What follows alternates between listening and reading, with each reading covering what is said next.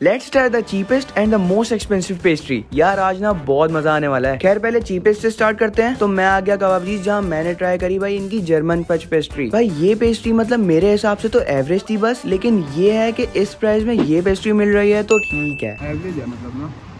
वैसे कभी मेरे घर पे पेस्ट्री आती है तो वो अराउंड सेवेंटी एट्टी की होती है। But they taste so good अब मैं ट्राई करने आया हूँ the most expensive pastry yum by Amna भाई, ये तो मतलब मुझे जगह से इतनी महँगी लग रही है। खैर, पैसे तो जाने ही है। मैंने ऑर्डर की लोटस चीज़ केक पेस्ट्री ये इनकी सबसे एक्सपेंसिव पेस्ट्री है and it is for rupees eleven fifty पता है मुझे। अभी पेस्ट्री आई थी और क्या कर दिया मैंने इसका भाई। खैर, वैसे फ्लेवर वाइज तो बड़ा टेंस क्रीमी फ्लेवर आ रहा था। आई रियली लाइक इट कुछ भी कहो यार पेस्ट्री एक्सपेंसिव थी बट सच्ची में टेस्टी बहुत थी। एंड मैंने मैंने ये लोटस भी खाया। भाई, ये भी बड़ा मज़े का था। खैर यार, मैं तो अपने यहाँ पे चीज़ केक एंजॉय कर रहा हूँ। तुम लोग मुझे नीचे कमेंट में बताओ कि तुम लोगों का क्या ओपिनियन है। यार, ये सच्ची में बहुत मज़े का है।